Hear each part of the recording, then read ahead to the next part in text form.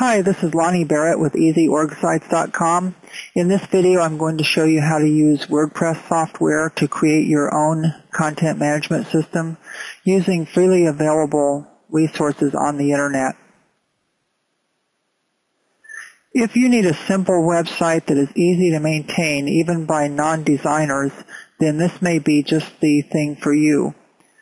To take a look at the features that this website offers, uh, go on over to easyorgsites.com.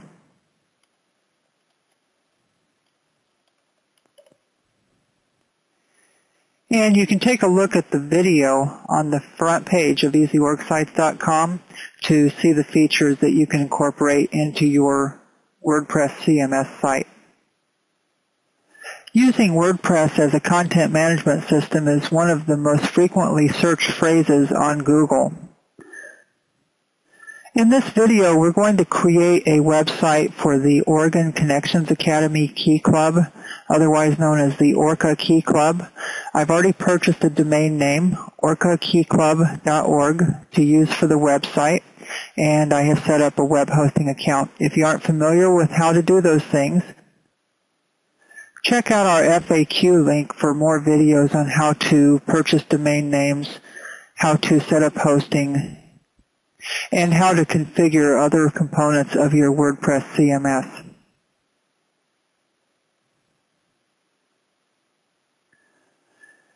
The first step that we're going to take is to install our WordPress software. So we can go back to the WordPress website and we can click the download link or in my case, I'm going to go to my web server and install it directly onto the server using Fantastico.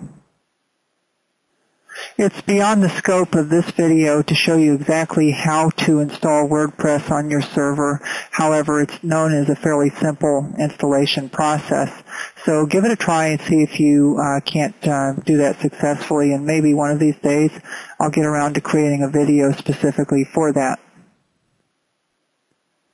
We're going to install the orcakeyclub.org website using the easyorgsites.com server.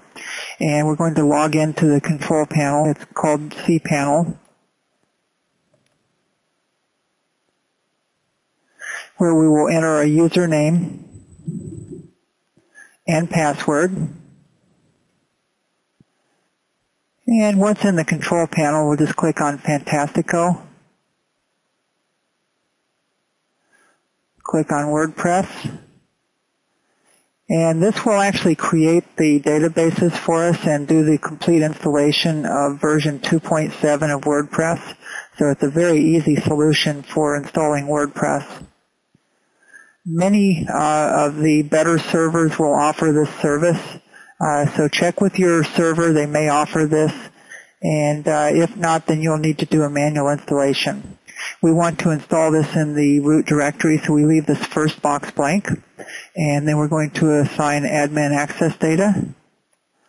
We'll create the username admin and a temporary password, Orca password, the admin nickname,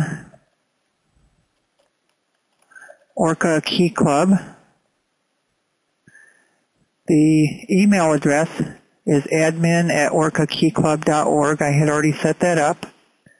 Site name.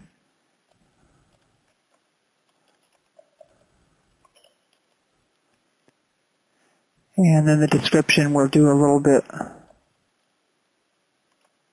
expanded.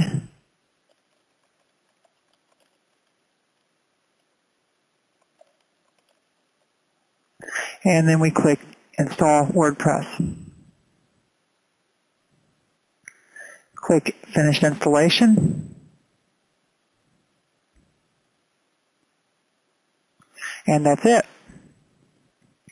Now that we've set up our WordPress installation, we need to go to the admin control panel. So there's a link right here. We can just click. You'll go to orcakeyclub.org slash wp-login. And here we're going to enter our username and password. And we will log in. And here we see the dashboard for the newly created Orca Key Club WordPress site.